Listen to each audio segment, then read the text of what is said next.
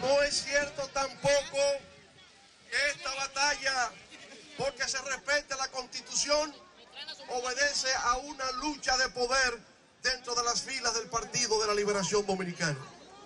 De que se trata de rivalidades entre liderazgos o que se procura por encima de todo una candidatura a la presidencia de la República.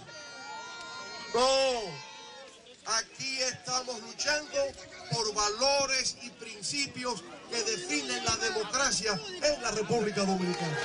No es el monopolio exclusivo de un Congreso o de un Parlamento. La Constitución de la República tiene que ser la expresión del sentimiento nacional. Como teníamos que pactar esa Constitución con el Partido Revolucionario Dominicano, el presidente de ese partido nos dijo en el PRD una tradición y había una doctrina de no reelección.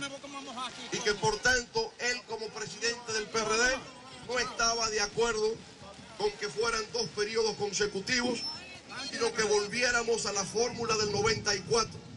Un periodo sí, el otro se brinca y poder volver.